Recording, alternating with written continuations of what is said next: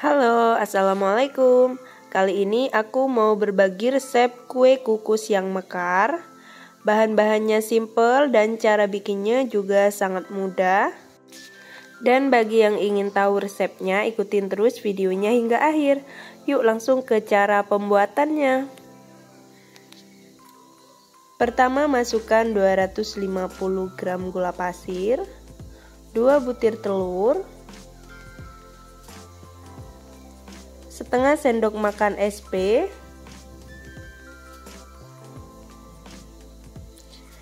Mixer dengan kecepatan tinggi hingga warnanya berubah menjadi pucat Tidak perlu sampai berjejak. Setelah pucat, matikan mixernya. Tambahkan 100 ml air. 1 sendok makan cuka 210 gram tepung terigu 30 gram coklat bubuk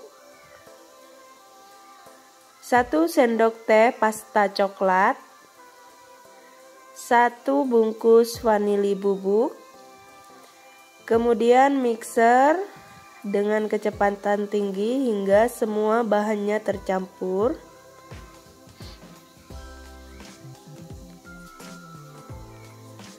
Setelah bahannya tercampur, matikan mixernya. Kemudian aku aduk-aduk dengan spatula.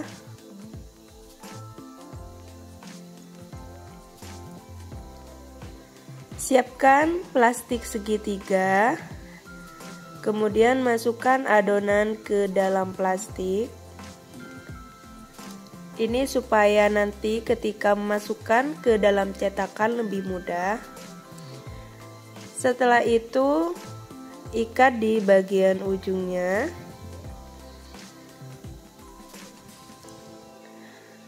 Dan ini dapat tiga plastik. Kemudian siapkan cetakan gunting bagian ujungnya Kemudian masukkan adonan ke dalam cetakan. Tidak terlalu penuh. Tapi dipenuhi juga tidak apa-apa, lebih bagus hasilnya. Tapi di sini aku pasangnya tidak penuh, segini aja. Lakukan hingga selesai. Panaskan pengukusan terlebih dahulu. Setelah panas, benar-benar panas, masukkan adonan kuenya, kemudian tutup. Masak hingga 20 menit. Dan ini sudah 20 menit mau aku pindahkan. Sangat cantik dan mekar. Seperti ini ya hasilnya, caranya sangat mudah. Dan Bahan-bahannya sangat simple.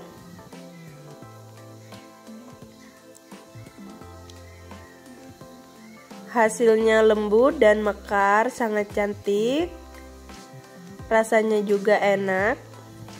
Dan untuk adonan aku mau nyoba aku fullin ke cetakannya. Dan ini hasilnya lebih bagus cuma tergantung selera masing-masing ya sangat lembut dan cantik untuk yang mau mencoba, semoga video ini bermanfaat. Wassalamualaikum warahmatullahi wabarakatuh.